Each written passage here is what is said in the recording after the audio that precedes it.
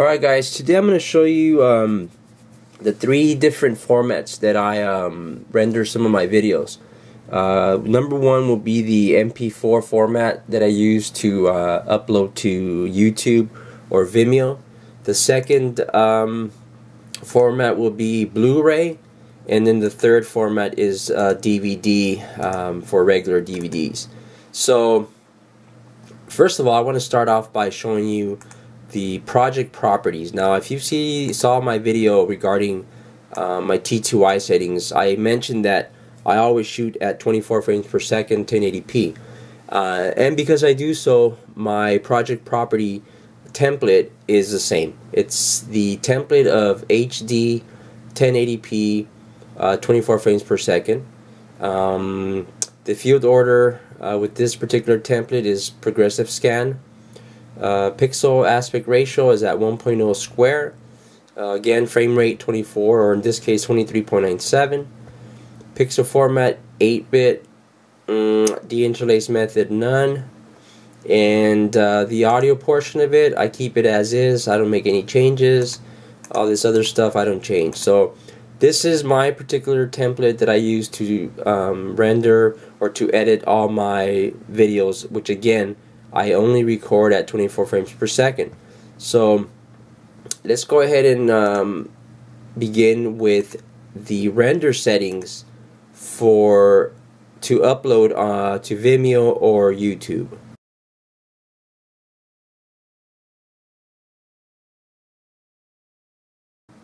Okay, so this is my render settings if I were to upload to Vimeo or YouTube.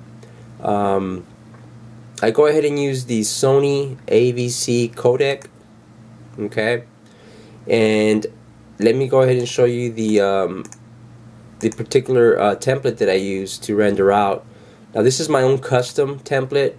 Um, now if you wish to do uh, the frame size or the template of 720p you can choose that one or the 1080p uh, full 1920 by 1080p I choose the 1440 by 1080 it the the, the file uh, the size of the files aren't too large so um, and I think the quality is a little bit better than if I were to do the 720p uh, but anyhow the frame say frame size is high definition 1440 by 1080 uh, the profile baseline frame rate 24 or 23.97 field order non-progressive pixel ratio 1.33 now this is important the bit rate okay um, if you were to, if I were to upload a highlight video uh, shot at uh, you know 24 frames per second, and if I were to do the bit rate of say 4,000, well, unfortunately because it's low, it's a low bit rate.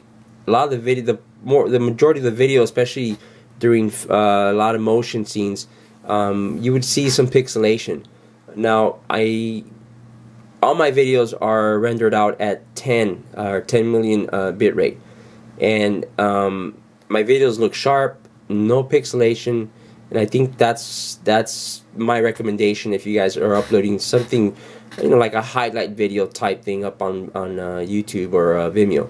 And, and again, all my videos are at 10. Now, this particular video that I'm editing right now, that I'm screen capturing, it's gonna probably be at 10 or I'm sorry, 4. I'll probably go down here and change that to 4, and uh, you know and because there's no motion really in this video it's not going to be necessary. So and also by doing um, 10 your file the, the size of your file is going to be a little bit larger uh, than if you were to do 4 for example. Uh, but again the quality is excellent and uh, all my videos are done at 10 so now the encode mode I use the CPU only. I, I don't use automatic um, my GPU my video card is not that great. So um, and I have a 6 core AMD processor so using the CPU only always works for me. Uh, under the audio I keep it at uh, 128 uh, bitrate and uh, all the other settings I leave.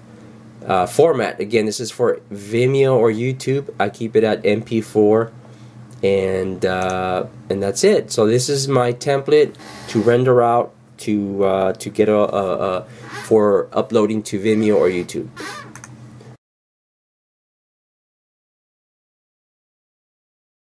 Now, the following is a template uh, to that I use to render out uh, for Blu-ray. Okay, if I were to do the Blu-ray, okay, one of the first things that I do is I say I go into the MPEG-2 codec, the um, MainConcept, and um, I have a custom template which is I call it the best Blu-ray 24p. And Then let's go into the settings. Uh, again, MainConcept MPEG-2, and you have here the um, output type MPEG-2. Now again, it's 1440 by 1080, frame rate of 24, um, field order progressive. Now the video video quality down here, uh, as you can see, it's at 31. It's always at the highest. I think uh, by default it's somewhere in the middle, I believe, but I always have it at the highest. And again, the constant bit rate because it's it is a Blu-ray. You want to go high on this uh, bit rate, uh, and I always have it at 25. Um, I think I've done 30 uh, to do some of my videos, some my Blu-rays, but 25 is about the right size, and it doesn't. Uh, the difference between 25 and 30 is not that not that big of a difference. So 25 works for me. Um, under the advanced video, all that's left alone. I don't touch that. Under audio, um, you know, I just the bit rate. That's the only thing that I can sometimes go back and change, either 224 or 256. But for the most part, it's always at 224. And uh, now here's the thing: I author my videos with Adobe Encore, um, and I separate the audio and the video. Uh, and I have it check mark right here, save as separate elementary streams. Um, I do this because I once ran into an issue where my videos um, were not syncing the audio with the with the video.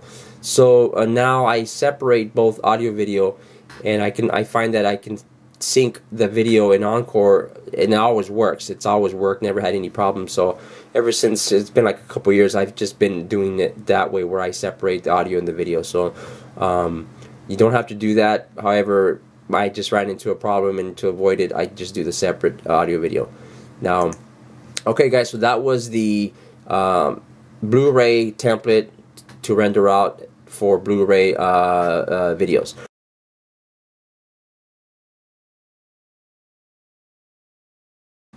Now the following is going to be the template for a regular DVD.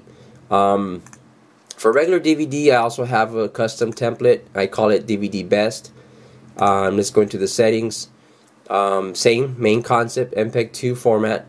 Um, output output type at DVD. The width 720 by 480. Frame rate is at 30. Um, aspect ratio 16 by 9. Uh, field order is progressive. Video quality is the same. It's all the way to the high. Uh, again, this is important. The constant bit rate on my videos, my DVDs, it's always at nine. Okay, nine million. Um, you can do four, four million. You can go ten.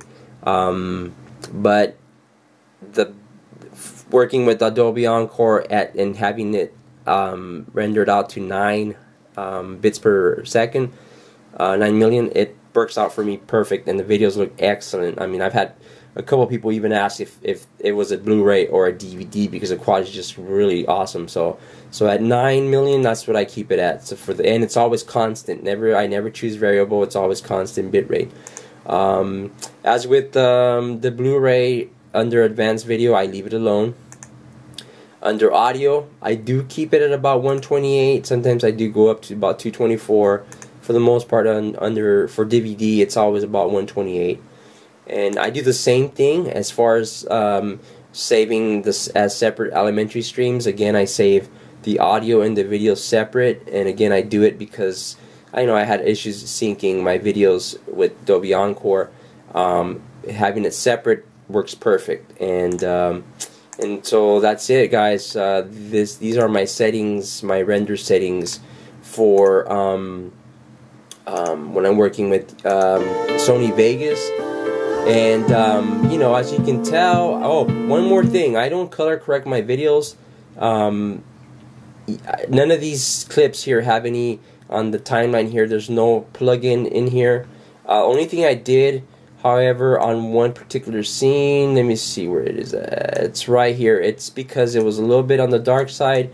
So what I did add is the uh, levels plugin okay and if I take that out you could tell that it's dark so by in increasing a little bit of the gamma and, and, brightness I guess it just made it a lot better and that's it. That's the only plugin that I inputted on this particular entire video.